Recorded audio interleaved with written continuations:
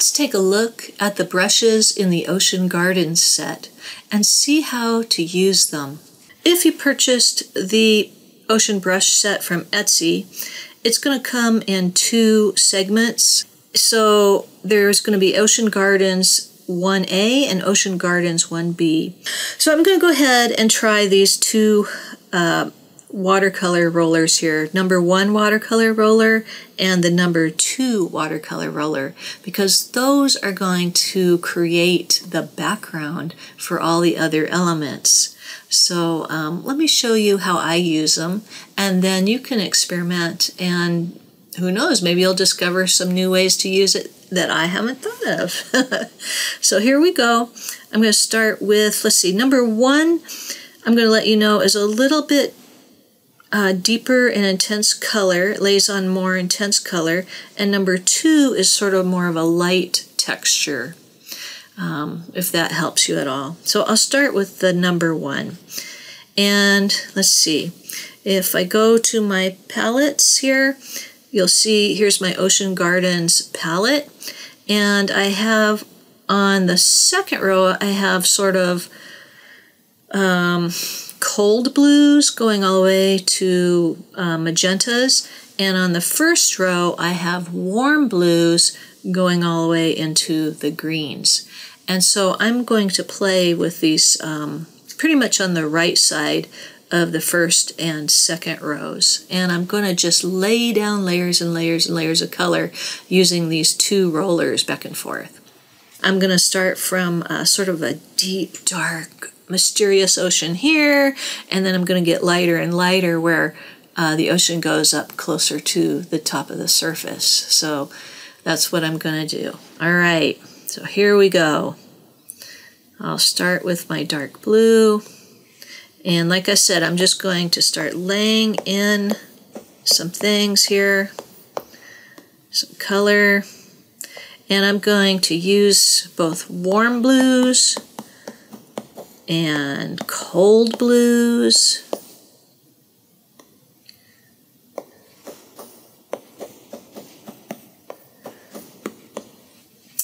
And let's see, I didn't use much of watercolor roller number two, so I'm going to try a little bit of that. I'm even going to go to a little bit of a light green way at the top. Ooh. I do like how uh, watercolor number two really is a little bit lighter. I like layering it over uh, watercolor one.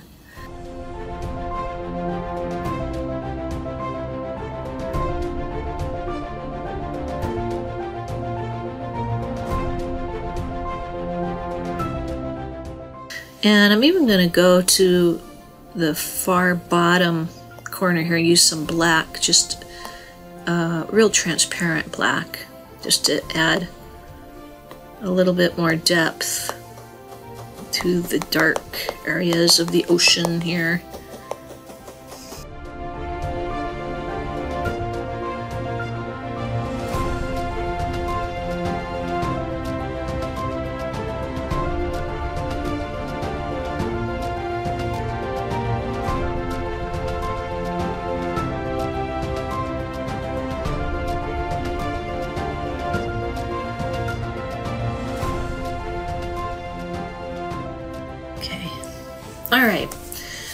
All right, so once you have some random color in there, uh, color and texture, um, you can leave it like this, which is pretty interesting, or you can take another step um, and just gently blend it with itself. Let me show you how. I'm going to go into the smudge tool now. It looks like a little fingers smudging and I'm going to set it to one of the watercolor rollers. And I'm going to set it, I think, to watercolor roller number two. And so I'm actually using a textured smudge tool and it will kind of blur it out a little, but it'll still leave some of that beautiful texture. And I can smudge you know, forward and bring some of the light color down if I want and smudge up. or I can just smudge straight up and down. I'm just kind of play with it a little bit until until it, it matches your vision. Sometimes I don't know what I want until I see it. And um, wow, ooh, I just love this. I'm going to leave that. and that's really has a lot of texture. Um, I don't know if I like that or not. I kind of do. Hmm. That is interesting. I think I'll leave it. it's very textural. Um, and then if I want to change it later, I can. So there you go. I used both rollers in an abstract way, went from dark to light, and then I used the smudge tool and set it to the roller to um, just kind of smudge it a little bit but retain a little bit of texture. I think that makes a beautiful background.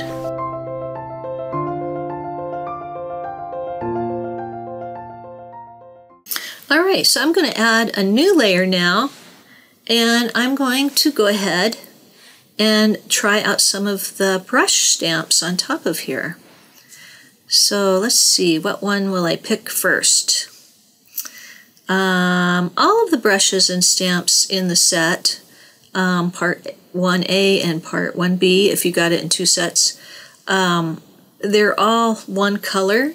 Uh, the only one that's two color is this little sponge here. It, I don't know why, but I just felt that I wanted to throw that in there because it looked so good with the rest of them. So there you go. I'll try the one, number one coral one color stamp now on a separate layer. And let's see, I'll go to my palette here, or, you know, you could pick any color you want on these other palettes. I'll start with here. I think I'll take um, maybe one of the reds. And let's see, how big is it? Okay, about 40%. Let's try it. Woo! Nice. I think I'd like to make it even a brighter, lighter color. There we go. Oh yeah, that's very vibrant, isn't it? I really like that. There, and, and I'm going to do a new layer and try a new brush. Okay, so here is the number two coral, and this is based on something called a mushroom coral. It does look a little bit like a mushroom. Let's see, I think I'll pick, mm, I think I'll try this. And I'm doing a new layer. Okay, and then maybe I'll do like that color for there. And then I'm going to take this one and just uh, shrink it a little and turn it so that they're not so the same. So I'm in the select tool. I'll do freehand. I'll grab it. Uh, select the little arrow icon for rotating it. Let's see, grab that little green dot up there, there. And then grab the one of the little blue anchor points and resize it. And then I think I'll pull it over here.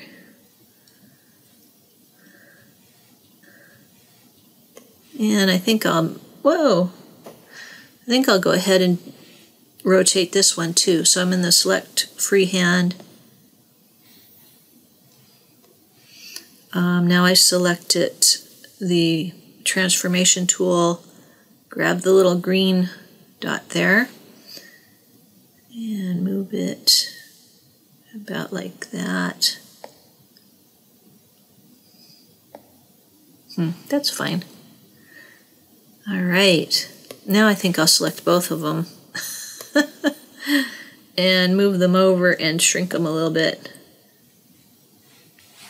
Okay, so I'm just going to keep uh, going through all these one color stamps except for the sponge I'll save for last because it's two color and I'll put one on each layer. So here we go.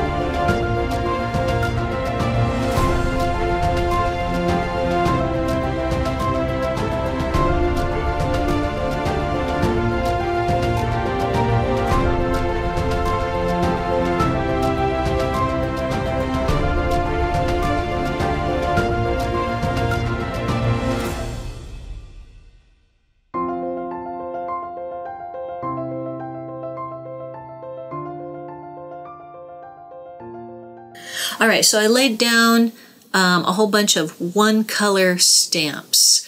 And then I can go now, and since they're all on different layers, I can resize them and move them and start to create a composition.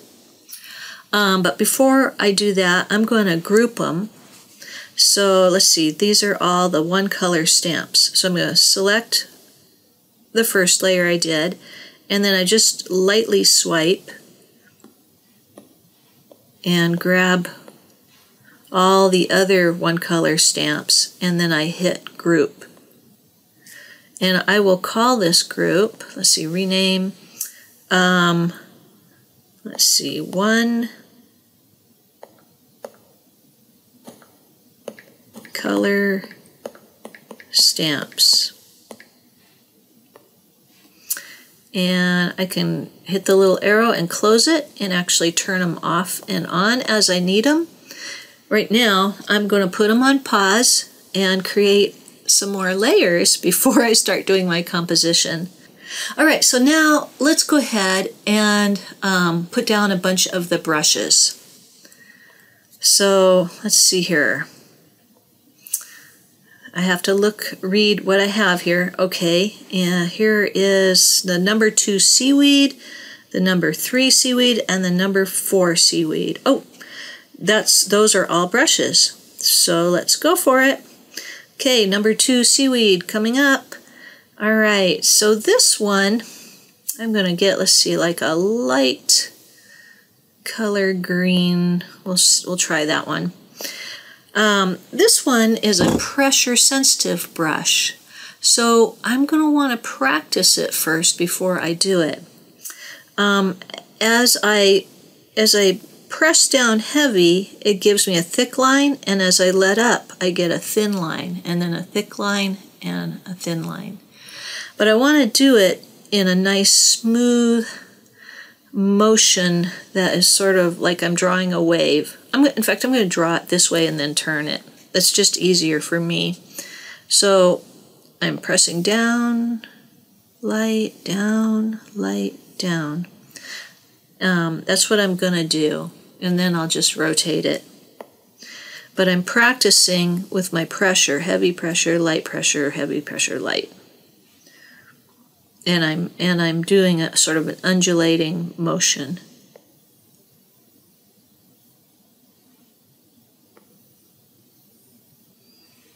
All right, so once I have that, I could go ahead and go to my transform tool. Let's see, I'll do uniform, transform, and I'll grab that little green circle there and rotate it resize it a little because that's a little big. and kind of pull it to the side there. Oh, gotta hit that arrow again. There we go. All right, so there's my seaweed brush. Now let's try a couple of other brushes. New layer. Uh, let's try the number three seaweed. And I'll give it maybe a light blue-green. Why not? Let's try that. Okay, so this one is also pressure sensitive. So the harder I press, the bigger it is, and then it gets smaller as I lighten up. But it's also um, sensitive to how fast your motion is. So you so so practice it a little. Um, you want a swift but not too fast of a motion um, and I'm going to undulate it again. Let's see. So I'm going to practice that. So if I go too fast, it starts to fall apart. And if I go too slow, it starts to fall apart. So let's see.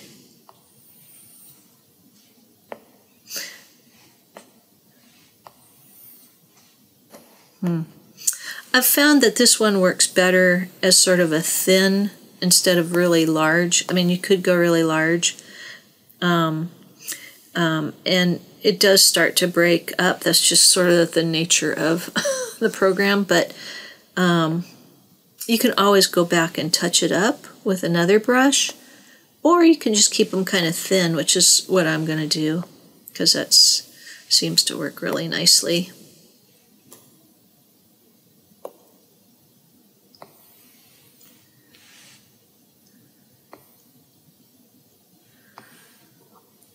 All right. Okay, so there we go.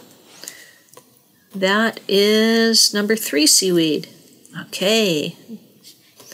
Go back to my layers. Add another layer here. And I'm going to try number four seaweed. And I think I'll use sort of the purples for that one. Purples and pinks. Okay. And, oops, I'm in the wrong one. Number four, seaweed. There we go. Now this one is also pressure sensitive, so these little things will get smaller the lighter your pressure, and the heavier the bigger it'll be. But you can also control some of the size over here.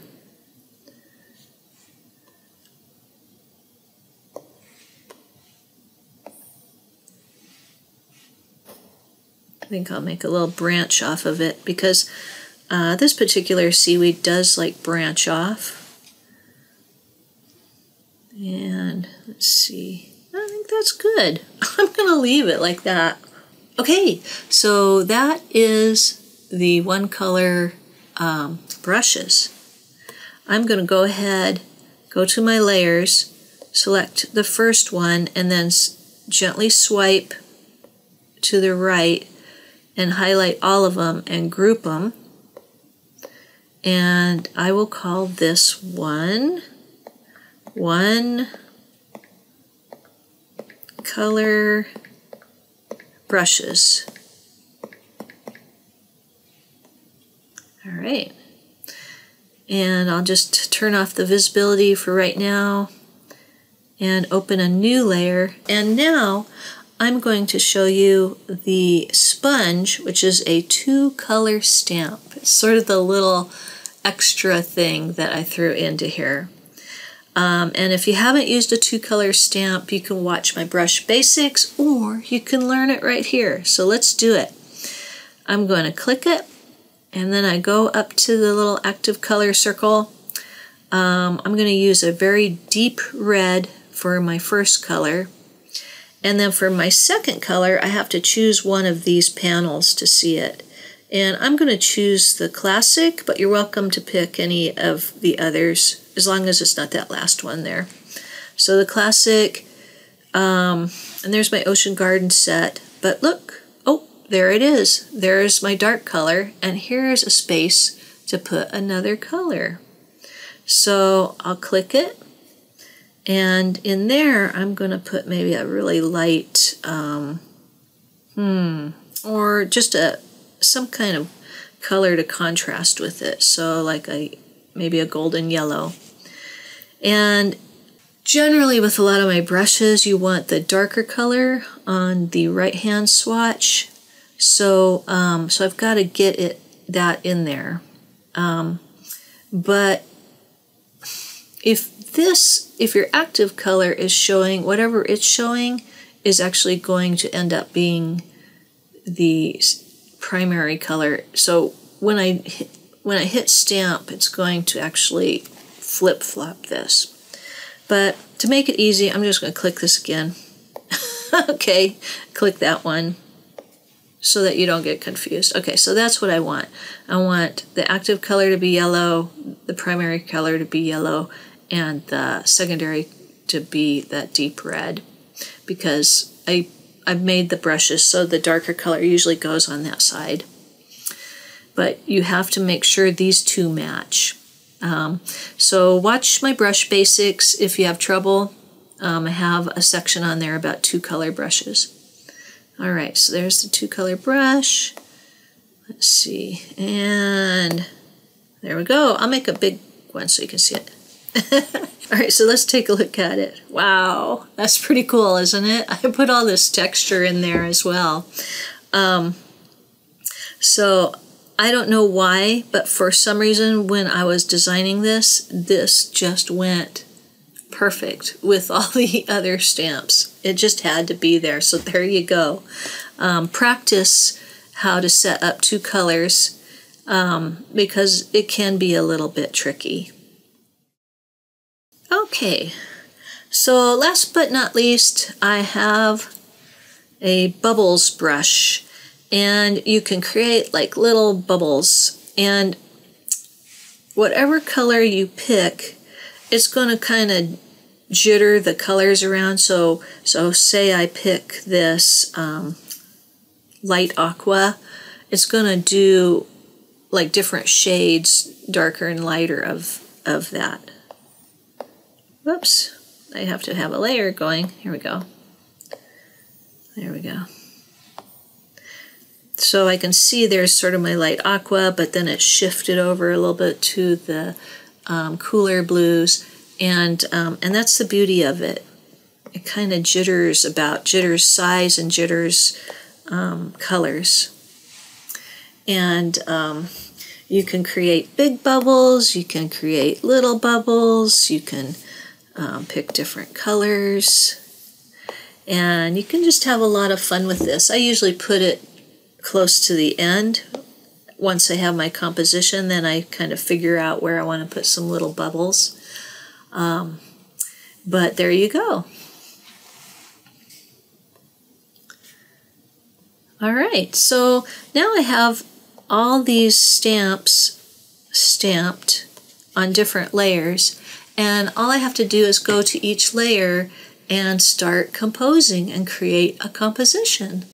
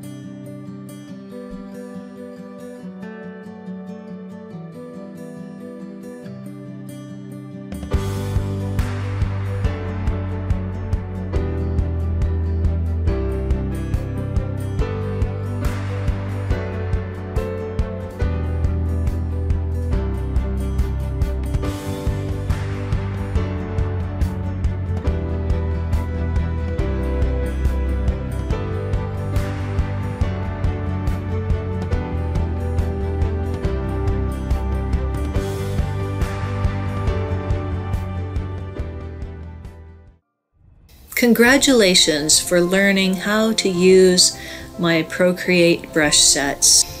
And hit subscribe to learn about new and upcoming brush sets and fun tutorials for Procreate and Adobe Fresco.